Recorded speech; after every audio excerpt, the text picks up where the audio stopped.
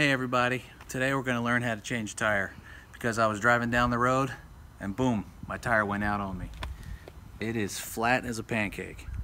First thing I did was I got my uh, lug wrench and uh, realized that my the one I had in my car was actually too small. This is the one that came with my car. It's too small for the lug nuts. So that was a problem.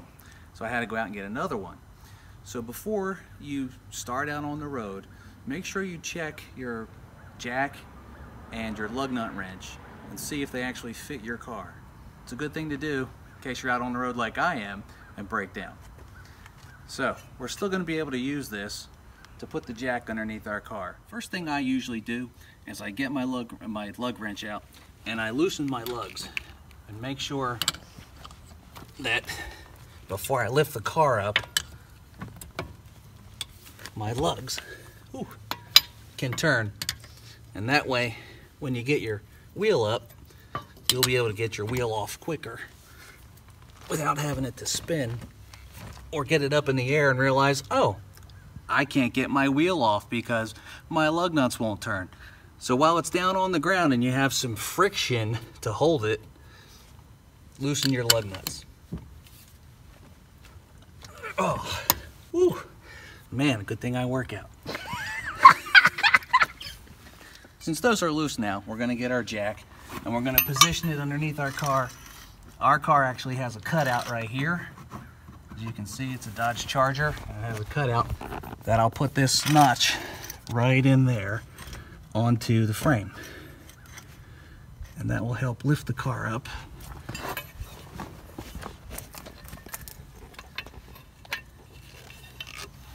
twist it.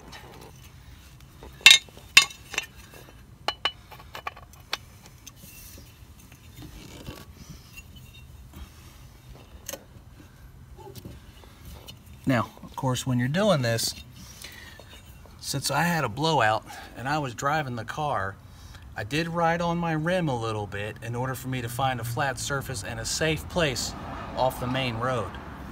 So you might want to try to do that, especially if you're on a highway or a very busy road. You still can limp your car at a decent speed off to the side of the road so you don't get injured while you're trying to change your tire. All right, let's get this bad boy up in the air so I can change my wheel.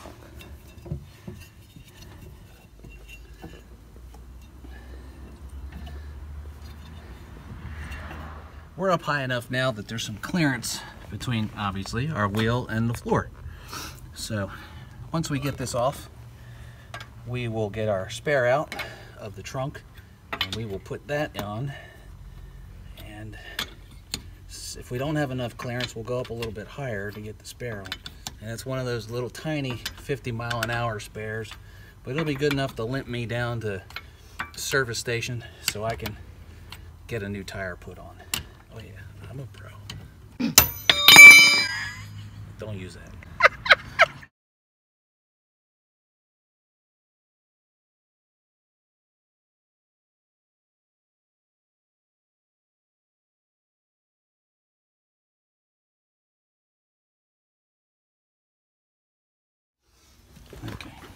All right.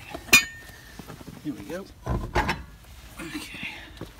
Out with the old and in with the new. All right, we're gonna lift this on here and put it on.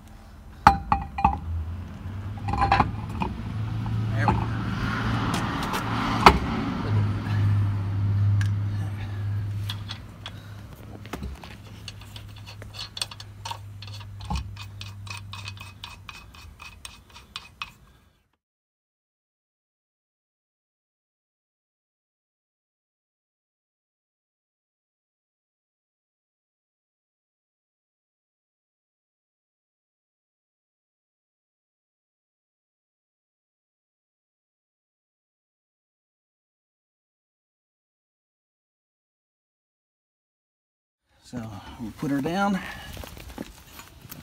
And you want to do this slowly. You don't want to do it too fast because your car will fall.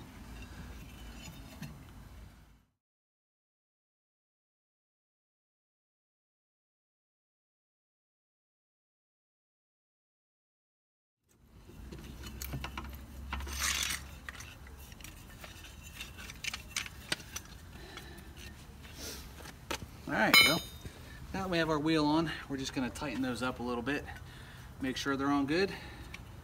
We'll put all our stuff back in the trunk and we'll get to the mechanic. So that's how you change a tire when you have a flat on the road. I hope it helps you. If you like this video, please click like and subscribe to our videos so we can show you how to do other fixes to your car. Thanks for watching.